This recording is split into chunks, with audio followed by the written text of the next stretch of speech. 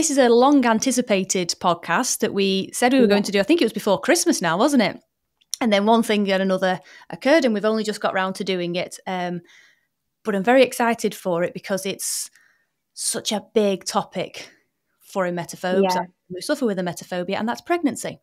And the idea yeah. of falling pregnant as an emetophobe and morning sickness and everything that comes with pregnancy. So I just want to mention before we dive into this um, that along with pregnancy comes particularly sensitive topics such as miscarriages and abortion. So just so listeners out there are aware that these topics may be covered as we start diving into the notion of pregnancy and emetophobia. So, Bree, you put out um, a question on your social media um, for anybody out there who wanted a specific question answered. And the mm-hmm. same one came back as you've had previously, and I've had previously. The main question that we get asked, which is, do you want to do you want to go for it? Yeah. Why would anybody that has emetophobia fall pregnant? Fabulous. And okay. it makes a lot of sense. It does. So, put everybody in in context.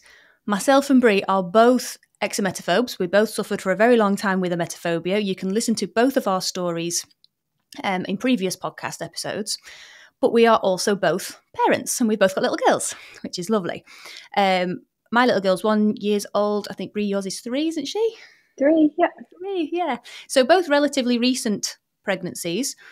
Now, the difference being, Bree went through her pregnancy with emetophobia. I overcame my emetophobia before I fell pregnant. So, two very, very different experiences of pregnancy. So, should make for a really interesting conversation. Now, the question of why would anybody fall pregnant when they've got emetophobia, I can't answer purely because I didn't. I mean, I can answer, I can give it a good stab, right? But that was one of the main reasons I went through the program myself was because I wanted to fall pregnant and I couldn't envisage me doing that with emetophobia. But Bree, you're slightly different. So do you want to dive into how and why you decided to get pregnant when you were still yeah, suffering with a Sure.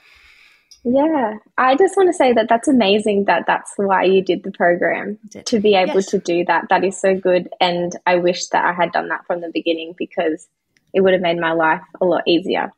But from yeah. like a young age, I really wanted to be a mum, and I always knew that that was a possibility. Like even though I had emetophobia, I was like, it's going to happen. Um, yeah. And before doing the Thrive program, my primary desire for control was so strong.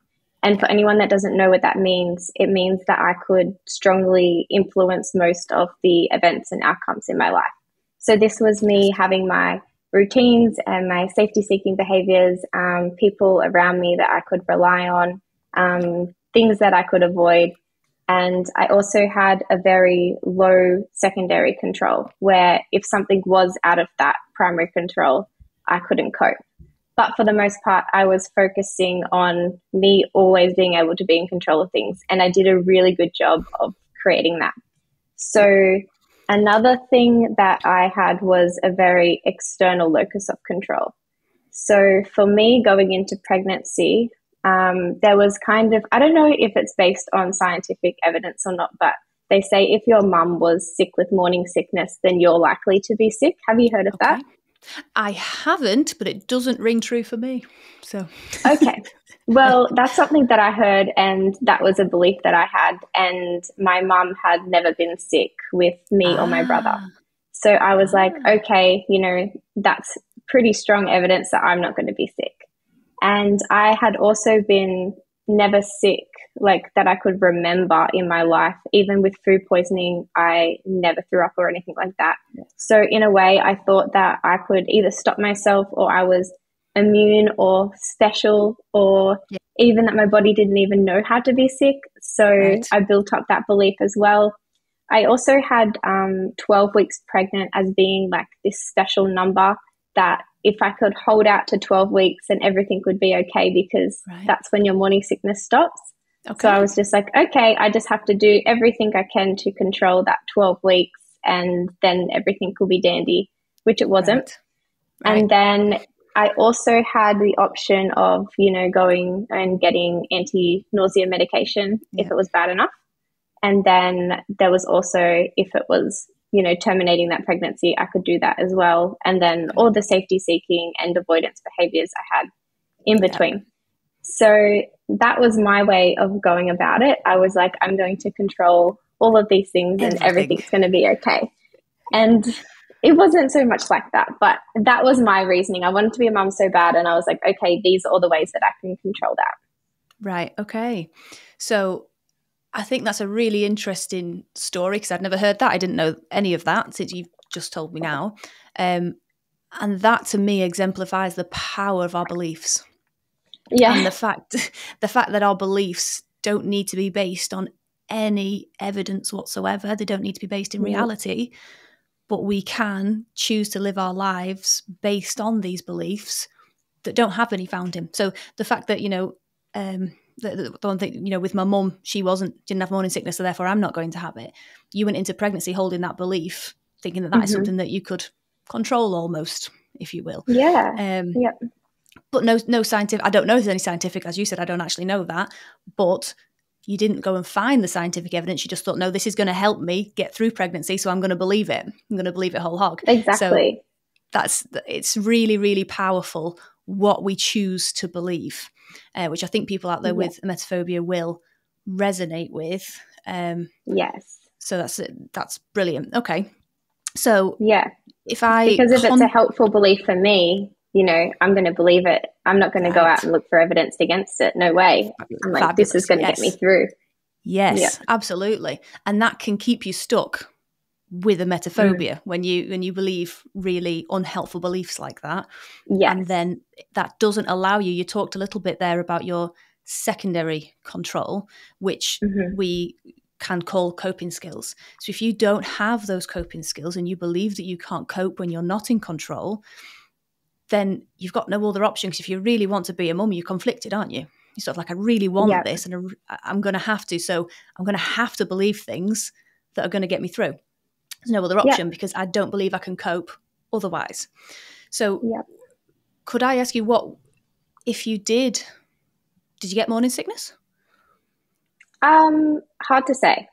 So, okay. the moment I found out I was pregnant, I was instantly nauseous, which mm. isn't probably a surprise because when you have a emetophobia, you know, I think you wake up with a 99.9% chance of being sick that day or something like that, something very high. And you can still create like a, a lot of feelings of being nauseous just based on that little, you know, possibility. And yeah. when you're pregnant, I think it's more like a 50 to 70% chance that people actually have morning sickness. So it's a lot right. higher. So as soon as I found out I was pregnant, I instantly just felt so sick. And then I didn't then eat food and I stressed about feeling sick, which made me feel even more sick. So, you know, it's hard to say yeah. whether I did or I didn't. I did feel a lot more sick um, for the first like 15 weeks of pregnancy for yeah. sure. Yeah. But my yeah, the way that I was creating anxiety about it, it's it's hard to know whether it was actually true morning sickness or whether I had just worked myself up every single day to be in such a state that okay. that's how I was feeling. Right. So I think it would be useful then at this point to compare and contrast our experiences of that first trimester. Or my, you know, you said yes. your morning sickness was um, a few weeks. Mine, mine finished around twenty. Now I was over my emetophobia at that point, you still had it. So I think it's worth looking at the difference between the two experiences. And obviously, we're 2 mm-hmm. different people, so we were likely to have different experiences anyway. Yes. But I do yeah. know that I was actively doing things during my first trimester to thrive through it. Okay, so it was an active process. I was putting effort into it. And I'll go through my experience shortly but you didn't have any of those skills at that point because you hadn't been through the program. So, do you want to just possibly share your experience of that first trimester, what it was like, the, the possibly the safety seekings, or, or go into a bit more detail as to how you got through it? Yeah, I was I was equally excited. I wouldn't say equally, but I was still very excited to be pregnant. It was just it was hard and it did take away a lot of the joy and excitement that pregnancy was supposed to be because I was waking up with like a lot of fear and dread, and I wasn't really eating. Um, I cried a lot about my appearance. I didn't really mm-hmm. have much of a social life because I didn't want people to, I don't know, see me and comment on my body. So I actually deleted my social media, and the only photos that I have of my pregnancy is just progress. Like I wanted to see it growing for later. I thought I might be interested in it. Right. And I spent a lot of time outside alone by myself because I was pregnant in winter. And anytime that I was feeling sick, the way that I coped with that was to distract myself. So I would go out in the freezing cold and walk around, and it doesn't matter if it was midnight or three o'clock in the morning, I was out there walking around in the dark, right. you know, trying to distract myself. And that's pretty much the best way I could say that I coped was I just kept distracting myself from it happening. And right. um, I would go to work and I would sit outside for a lot of the day. I couldn't be inside with all the smells of people making coffee and things like that. And I had this fan and I was just sitting there fanning myself and eating a fruit roll up and crying. And it was mm. just yeah it was it wasn't a very nice experience. And i really had no way of coping. I never thought you know i'm going to look up some tools of how to do this in a more helpful way. It was just distract distract distract i think. Yeah. Okay. Yeah. Okay.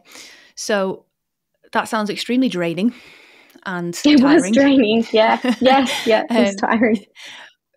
uh, which is compounded by the first trimester because again i don't know about your experience but i was absolutely exhausted during the 1st mm-hmm. trimester because i was growing a human. Um, and that's tiring. Yeah. it's it's a, a, tiredness like i've never felt before. Um, now my experience was vastly different to that. Um, i was just so excited. Me and my husband um, got married in the march um, and then we tried we tried to conceive for about 10 months. So it was every month, you know, checking the um, pregnancy yeah, that would have felt like a long time. A long time. And I was yeah. like, and we had friends that had really struggled and were going through IVF, and I was thinking, okay, well, this might be the journey for us, and this, that, and the other. But anyway, I actually got the positive pregnancy um, test when we were renovating the house. So we just bought a house, um, and it's the house was built in um, 1915, so it's a very very old house, and it had been renovated a few times since then, but it was very outdated, um, and we had. Cordoned, cornered off the whole house and we're just living in the kitchen. So we were sleeping in the kitchen, eating in the kitchen. We had a downstairs bathroom with just a toilet and a sink, and we'd bought this um, blow up uh, paddling pool, if you want to call it, a tall blow up paddling pool um, to shower in. So we'd have to like stick a, um, a hose over the taps and then we would shower. I'm glad you said shower, and I was like, "Is this for you to birth in?" I was like, "Wow." we'll come on to birth implants later. yeah, just to shower, um, and it was just a very confined space. My husband was working from home at the time, so he was his desk was at the foot of the bed, um, which is again in the kitchen. It was all very confined, and that's where we, we know I fell pregnant. So I was doing the whole first trimester thing in that environment. So the smells, as you can imagine, because I was cooking in the room, oh, I was yeah. sleeping in, um, and the dry. It was actually the smell of the dryer that used to really get me. Now I did have morning sickness. I wasn't actually sick. I was. Mm-hmm. Apologies, people listening. I retched a few times. I had to like leave the house a few times, and I didn't yes. bring anything up. But I was, you know, yes, the, the same thing happened to me almost yes. every day. Yeah. Yes. Yeah. yeah. So mine was only there was no. It wasn't almost every day, which would indicate anxiety, or, uh, possibly. But mine mm-hmm. was the smell of the dryer. I don't know why. It was the same the laundry detergent, but that was that. Now, I was not enjoying morning sickness. It started week six for me and ended around week 20. Uh, and I was working at the time as well. I was working in a school. Um, so and I was I was uh, assistant head at the time. So I remember one morning walking down the corridor, and before I'd even got to my desk, and and first trimester, I don't know if it's the same in Australia or the world over. I'm not entirely sure, but we didn't want to the, the risk of miscarriage is much higher before 12 weeks so yes we yeah. i didn't feel comfortable telling anybody i was pregnant until i got to that 12 week mark in case you know we lost it and all that kind of stuff so i couldn't tell anybody but i felt incredibly nauseous and yeah. I remember walking down the corridor. Five people stopped me before I even got to my desk. Michelle, this has happened. Michelle, this teacher hasn't turned up. We got a supply. Michelle, this is happening. It was it was like a And I just thought, oh, I just want to vomit on all of you. And that's, that's how I felt at the time. But I was able to just manage. I was able to cope. I was able to coach myself through it almost. Wow. So when you are thriving, you have so many skills that you put effort into on a daily basis. So for a start, I'd wake up in the morning and I would really focus on the fact that I was feeling nauseous as a real positive because that means my hormones are high. That means the pregnancy is yeah. probably likely developing well. This is a good thing. Yeah. So yeah. that's how I focused on it. And then I visualized the day. So I'd visualize myself getting ready the, on the bed and all this kind of stuff because we had nowhere else to get ready and get into school and visualize my day, having a lovely day. So not taking my mind off being pregnant, obviously, but just enjoying what I was doing throughout the day as I do every day. That's part of my routine now. And that really helps to set you up for the day rather than waking up and immediately imagining the worst, imagining being sick at work, imagining not being able to do things, imagining having to come home. Using your imagination to help you rather than hinder you is really, really powerful. So that's something I was doing my inner voice also at the time was really helpful and really charitable. I was, as we talk about in the program, I was my own best friend in my head. So I was going, "You're doing great. You know, if you if you're feeling a bit nauseous, if you're feeling a bit lightheaded now, just sit down, have a minute, have a you know, go and have some water, whatever else." And when I'd get to work, I'd say, you know, I'd told my one colleague, my very very close one colleague, and I would say, "Nick, it was Nick, name dropping it now. Nick, do you mind?" doing this i just need a minute she go yeah off we go now before I was emetophobia free, I would never have done that because of the, the amount of pressure I'd be putting on myself to keep going to get everything right and to, you know, don't let this yeah. affect your work and all of that negative, critical self talk. That was no longer there. So the pressure on yourself to perform, if you will, and to get through the day ama- amazingly well isn't there anymore. Um, yeah. So that inner voice is is particularly important when you are dealing with morning sickness and nausea as an exemetophobe because it's never pleasant. I mean, we've heard it multiple times. Everyone with a emetophobia, no one likes being sick. No, they don't. And nobody likes nausea. No, they don't. But when you're emetophobia free, you can manage, you can tolerate it. I didn't enjoy it. I didn't like it. I didn't go, yippee, another day of morning sickness. But I chose to focus on the helpful parts of it. I chose to think in a calm and confident and capable way because I had the skills to do so. So it's very important to compare and contrast the differences between our two stories because my first trimester, I look back on it with real fond memories of it because we had so much fun renovating the house and so nice. whatever else. But you know, it's it's so worth get gaining those skills, getting yourself skilled Definitely. up so that you can yeah. enjoy that time as much as you can. I yeah. mean, again, not enjoying morning sickness, but enjoy the journey of pregnancy. Now, yeah. I'm going to reflect back on your story now when you mentioned your body changing and the fact that you were worried about other people seeing that and you didn't you lead to social media and you were upset about it all yeah. of the time um, yeah. that, that feeds in very much to self-esteem social anxiety yes um, yeah. so i thought we could cover those two things next yeah okay. yeah so course, in terms yeah. of self-esteem then um when you were pregnant and you were going through all of those changes in your body because your body does change when you're pregnant how did you process that how did you how did you get through that those changes what was that experience yeah. like you briefly touched on it but yeah it wasn't it wasn't very good um, as you said before i you had a positive you know helpful inner voice i didn't mine was very negative and catastrophic and brought me down and my self esteem was already very low. And then, you know, I've had anorexia in the past. So gaining weight was kind of an issue for me. And then being pregnant on top of it and having people comment on my body, even though they were being positive, um, it's still, it would just bring me to tears because. I let it affect me in that way. And it could just be somebody being like, oh, look how big you've gotten. And for somebody that you know wants to be pregnant and loves being pregnant and they're excited about their belly growing like that's a great thing but for me that had had anorexia in the past and someone has then called me big yes. it was almost the worst thing you could say to me so i wanted yeah. to kind of hide my body a lot from people um, I was actually lucky because, not lucky, but grateful in a way. This is a positive that I was pregnant during COVID. So I could ah. spend a lot of time at home and I didn't really have to go out too much and be around people or go to certain events or anything like that. So that was a little bit helpful in that way. But yeah, my self esteem was just very low. Right. Okay. Yeah. Yeah. So that's makes the whole process even more difficult if you are being super critical of yourself yeah. and bringing your self esteem down. Yeah. Because. And, yeah. And I think also another thing was you can't wear the clothes that you used to wear before no. either. No. So it's kind of just like you're creating this new identity for yourself. Yeah. And I just felt like I'd lost myself completely. I was just like, I don't know who I am anymore. I'm wearing yeah. these like big dresses and things that I would never usually wear.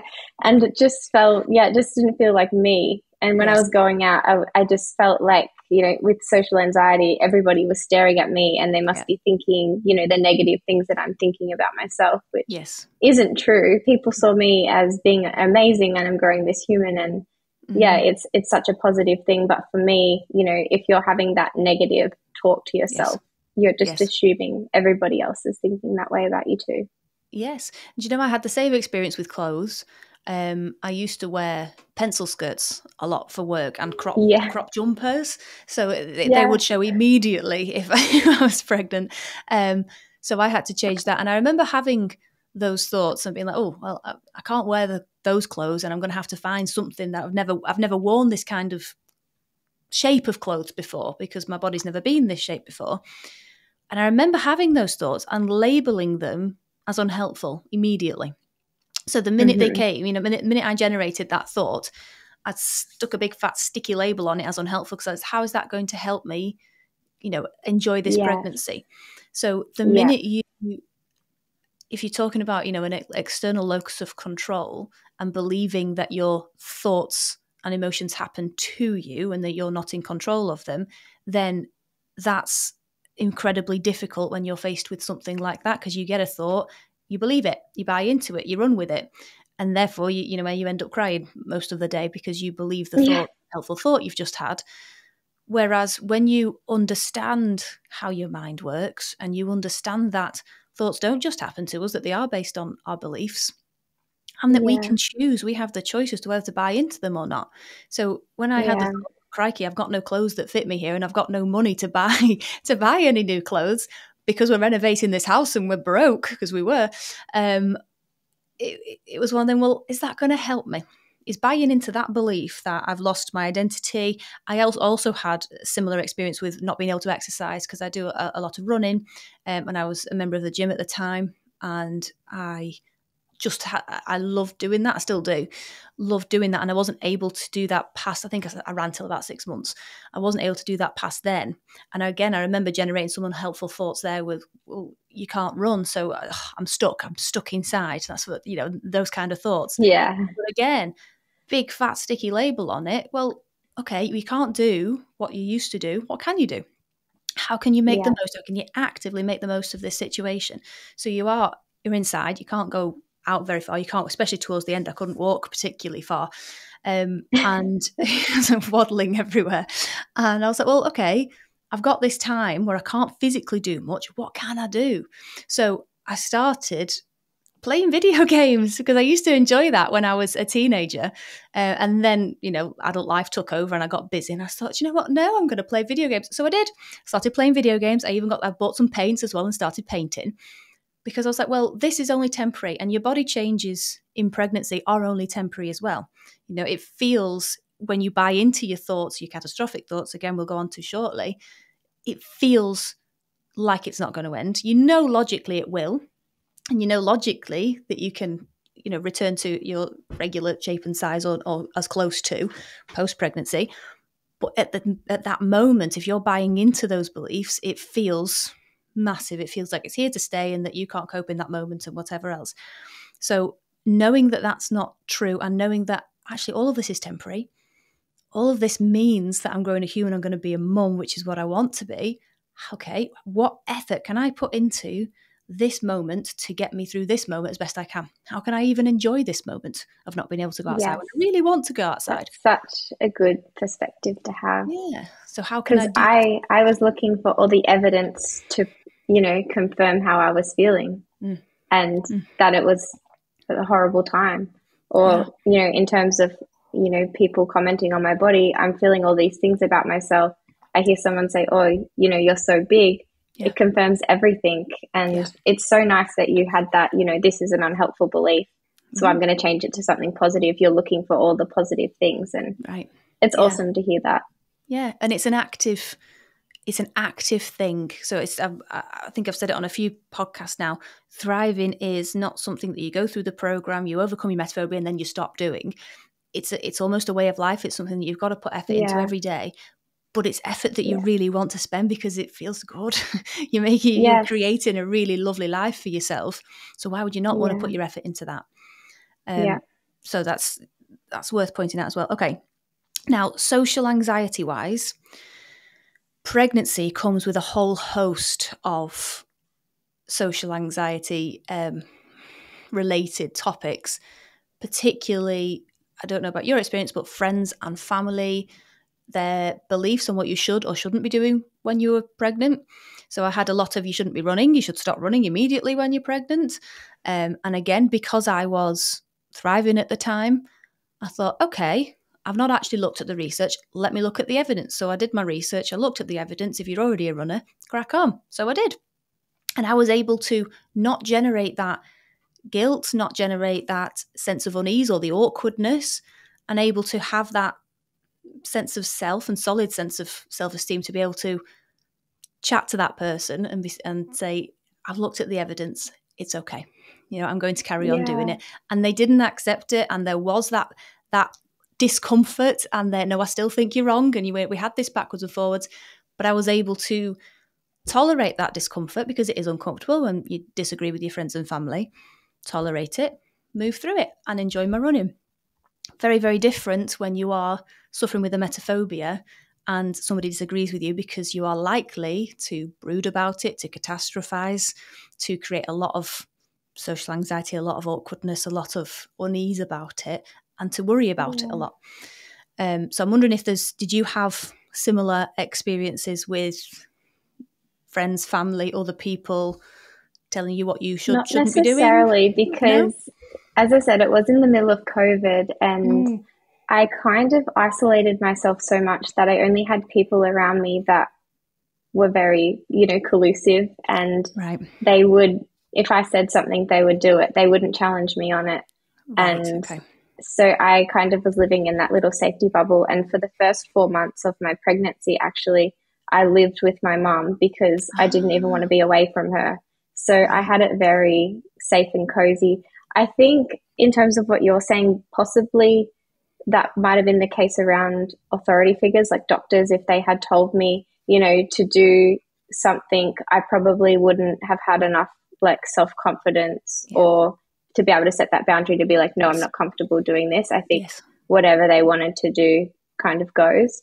Yes, absolutely. Yeah. Um, but that so, didn't actually happen. Did it now? Oh, so it's post COVID, I suppose. COVID, wasn't yeah. it? So yeah. So that's slightly different for myself. It was um, when you are thriving because we know social for those of you that don't know actually social anxiety and overcoming that generating social confidence and building social confidence for yourself stable social confidence is part of the program.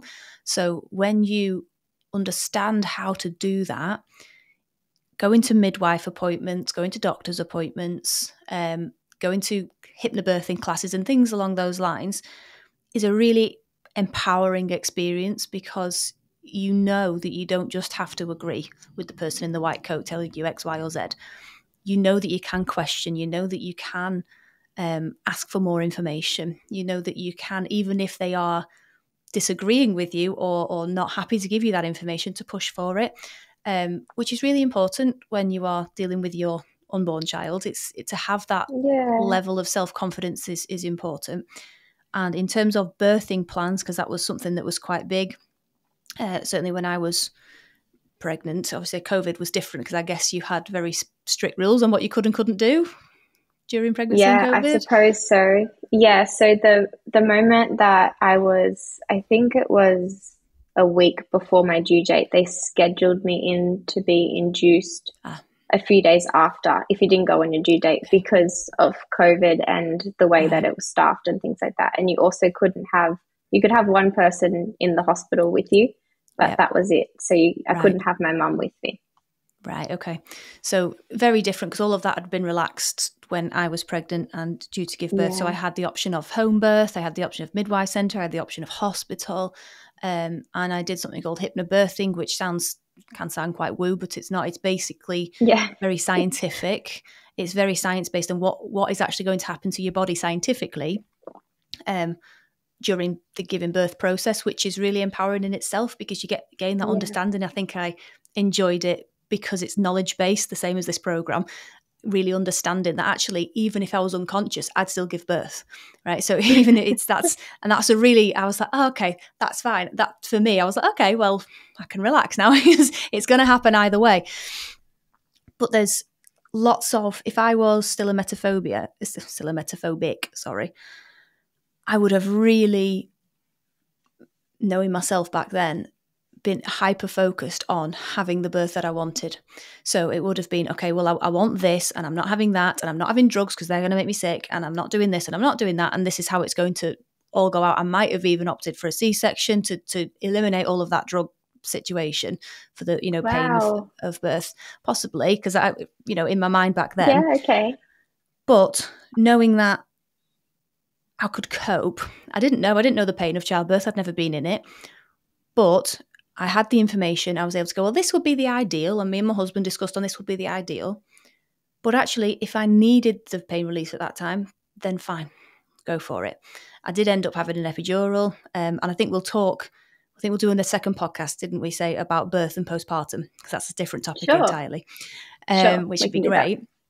Yeah. Um, but not having to be controlling if you look back to the beginning of this conversation when you were saying you were really really controlling everything around you so your you know your primary control skills were really high i still had those control skills but i also had really high coping skills so i was able to look at the evidence decide what i would prefer to have as a, as a birth but also know that if it didn't go that way i'd cope so therefore you yeah, go into you can adapt birth. to whatever situation you're in correct yeah. yeah. so I could go into birth as relaxed as possible at that mm-hmm. moment, and and pregnancy as relaxed as relaxed as possible, um, because you've got those coping skills to fall back on.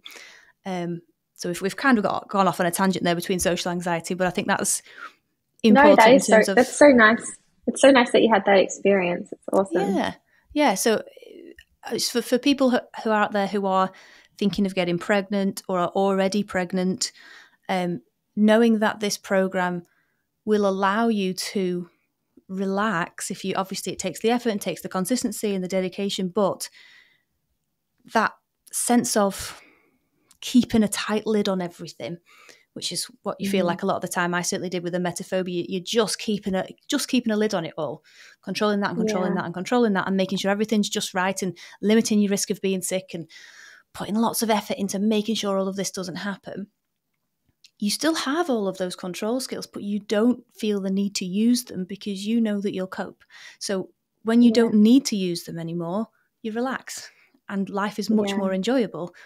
And you, you can just enjoy, sit back and enjoy the journey of pregnancy because it's a, I say it's a beautiful journey. I my experience of it was absolutely gorgeous. Yeah, um, that sounds so nice. Yeah, and it's not morning sickness. The biggie I think for most people, is morning sickness. It's not enjoyable, but it's manageable. Now, I was, I said I was never sick, right? But even if I was, I know I'd have been fine.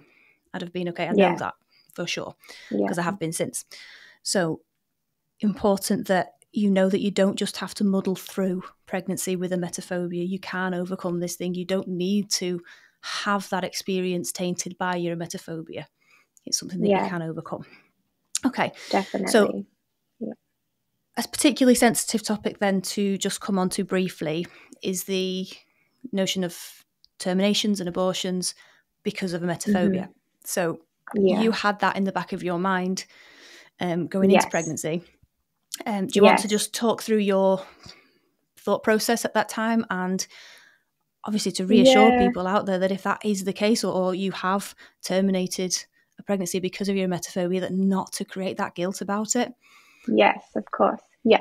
So the first time that i was ever pregnant i did have a miscarriage and i put the reason that that happened based on i think you could call it like superstitious or fatalistic or something like that.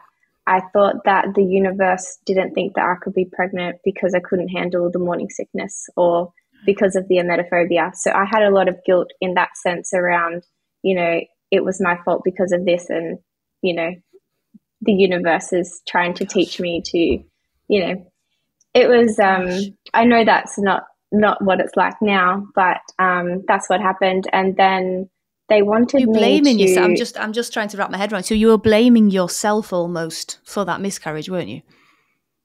Oh, of course. Yes, a hundred percent. Yes, because I was pregnant for a few weeks. I felt a bit sick, and then I had a miscarriage. And yeah, I was like, this is the reason because I'm healthy. I should be able to have a baby. Like this is the reason why. I was very superstitious and into you know, the universe doing things to teach you lessons and things like that. So that was just what I attribute it to. And then, yeah, I held on to that to be like, this is my fault. And they wanted me to have a procedure done where they put you under like anesthetic to remove the miscarriage.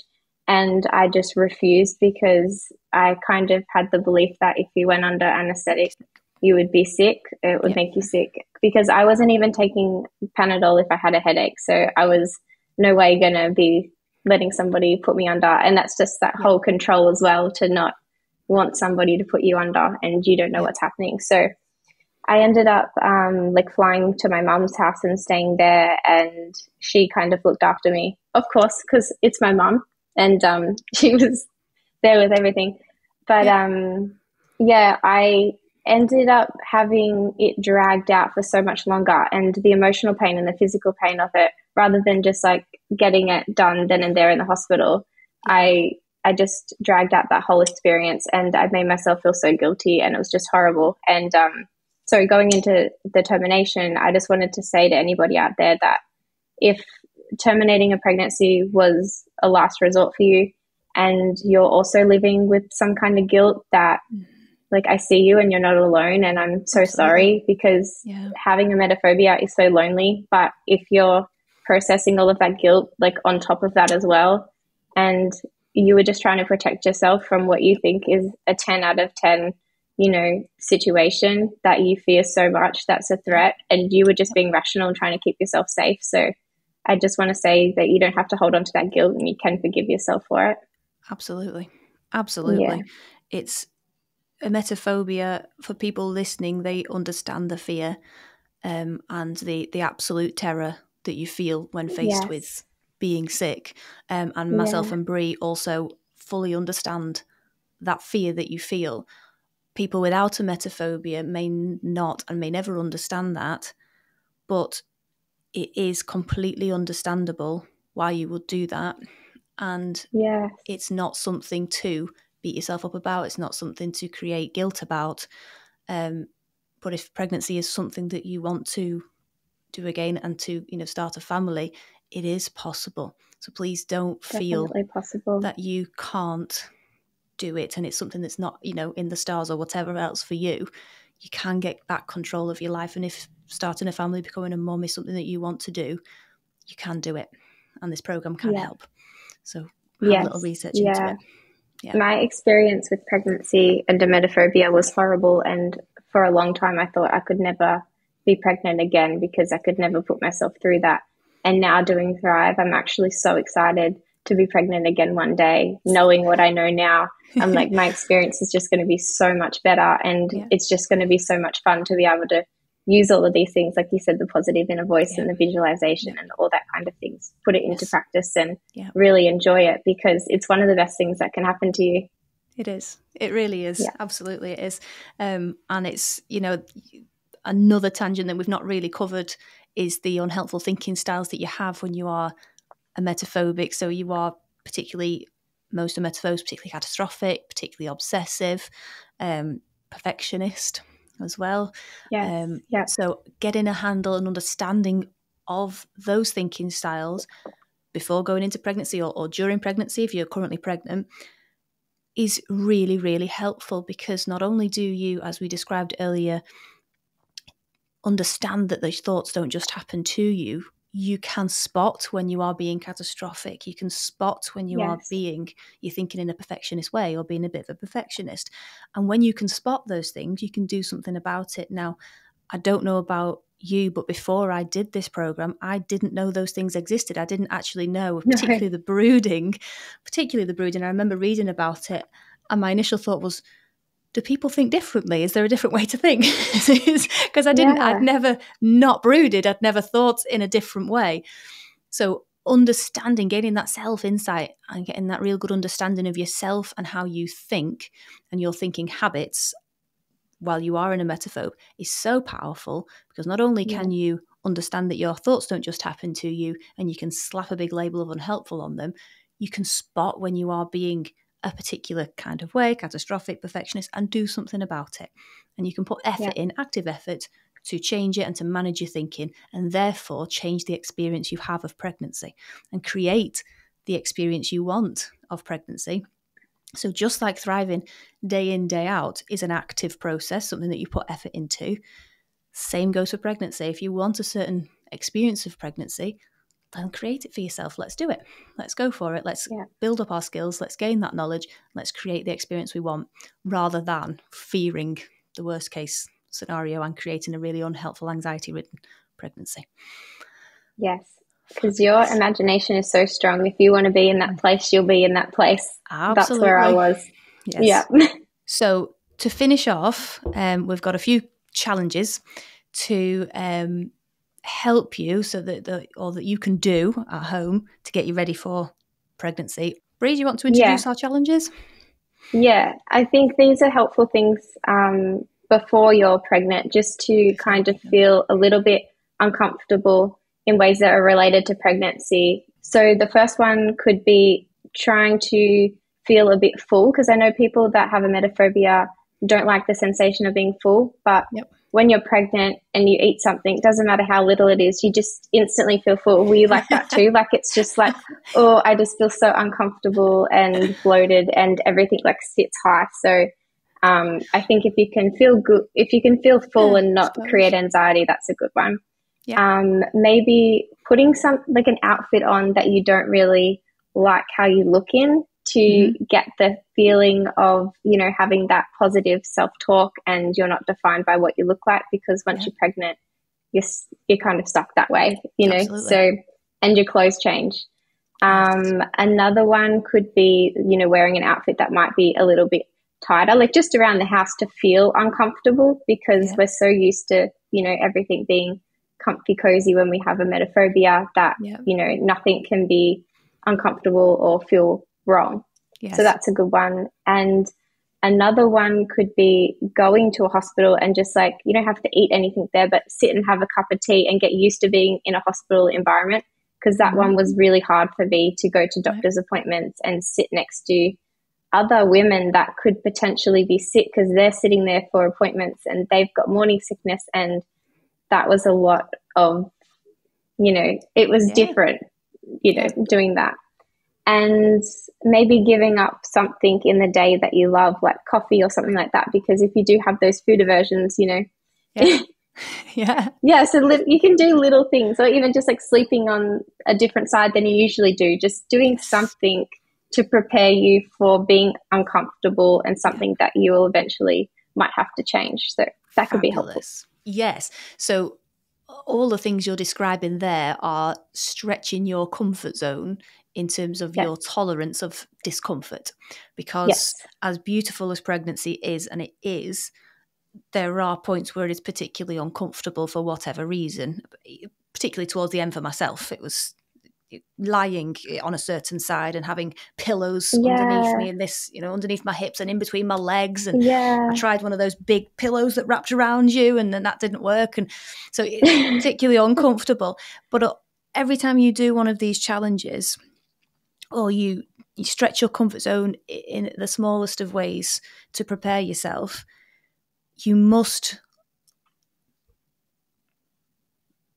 get your inner voice speaking in a helpful way. So instead yeah. of going, okay, yeah, I've done that, I've got through that, yeah, that's fine, you want to go change that narrative to, I can cope with this. Well done, me. This is uncomfortable yes. and I can manage. Because what you're trying to do is become your own best friend in your head and build up your coping skills. Because when we spend our lives trying to stay in our comfort zone and to not experience any discomfort, then going through something like pregnancy is going to be much harder because you are forced out of your comfort zone. So if you take those steps and then really process it powerfully, you've taken the step, you can cope. I'm managing. This is only temporary. Well done, me. I can manage yeah. pregnancy. That's going to really set you up nicely. If you don't process yeah. these challenges in that powerful way, then they're unlikely to provide any sort of positive for you. Yeah, you have to leave them doing the challenge feeling empowered and feeling the next time I do this, it's going to be a little bit less uncomfortable, or I can yes. even take it a bit further and do this. Yes. And you start to see that progress. Absolutely. Yeah. And Absolutely. you grow that inner voice, that positive inner voice. Yes. Yeah. Yeah. Um, and if you haven't already listened to all of the podcasts, I suggest doing that as well, because that will give you more of an insight into the program and how to refine your thinking to empower you even further. Um, and obviously, if you've not done the program, obviously we're going to advocate for it. But if now isn't the time for you, at least listening to those free podcasts and getting your self awareness up is only going to be helpful. Fabulous. Well, thank you very much. That's been really, really good. Um, we will be back soon with a pregnancy post pregnancy podcast. It's post pregnancy podcast. Yeah, and Birthing and postpartum. Yes, let's do birthing and postpartum. Okay, so have a lovely day. Thank you so much for coming on, and I will speak to you soon. Bree. Thank you. Thank you. Okay, bye. bye.